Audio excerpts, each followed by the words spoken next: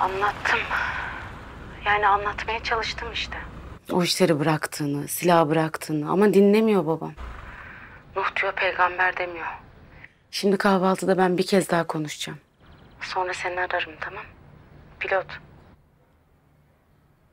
Üzme kendini.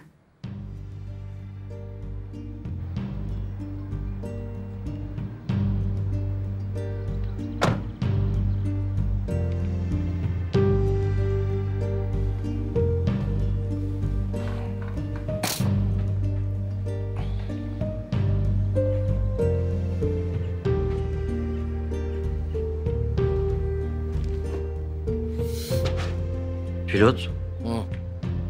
Ne bu hal kardeşim? Dün bütün gece aradım telefonu da açmadın. Yine aynı mevzu değil mi? Oğlum yine gül beklerken diken uzattı hayat bize. Gerçi dikene razıyız da gülsüz dikeni ne yapayım lan ben? Ya niye anlamıyorsun kardeşim? Biz gül eksek tomurcuğunda kurşun filizlenir. Herkesin kapısı kendi dünyasına açılır. Bizim dünyamızda bu. Kurşun, kan ve barut. Ben böyle dünyanın insicamını... Neyse.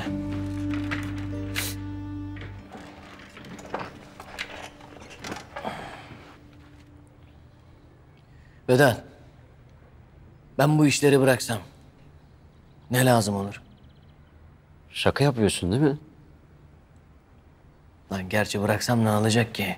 Sabıkamız kabarık. Kabul etmiyor bizi aralarına normaller. Pilot. Olmuyor kardeşim. Bak bu gitgeller olmuyor. Senin bu tavırlarındır ha milleti azdıran bil yani. Adımızı çıkardın kardeşim. Millet ileri geri konuşuyor sağda solda. Ne diyorsun oğlum sen? Ya kör oldun diyorum kardeşim. Hepten kör oldun hiçbir şey görmüyorsun. Senin gibi adamın adını kullanıp infaz yapmaya kalktılar sende tık yok. Oğlum eğer Uygar'ın ismimizi kullanıp Ali Hoca'yı öldürtme çabalarından bahsediyorsan biz onu hocaya havale ettik. E hoca da havaleye almamış demek ki pilot. Uygar'ın aynasına toz bile düşmemiş. Herif fellik fellik geziyor ortalıkta.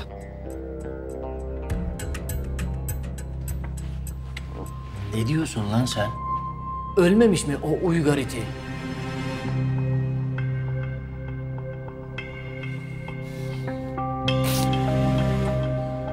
Eğer hoca infaz edemediyse Uygar'ı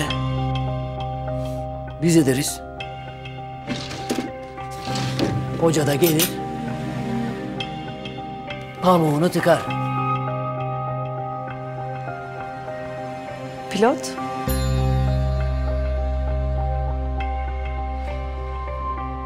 Şimdi değil Tuğçe Hanım. Şimdi değil.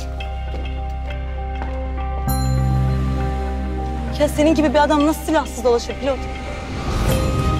Duygu'ya söz verdim. Sen zaten bırakmadın mı o işleri? Bıraktım. Bıraktım da inanmıyorlar ki. Yani Duygu inanıyor ama ailesi inanmıyor.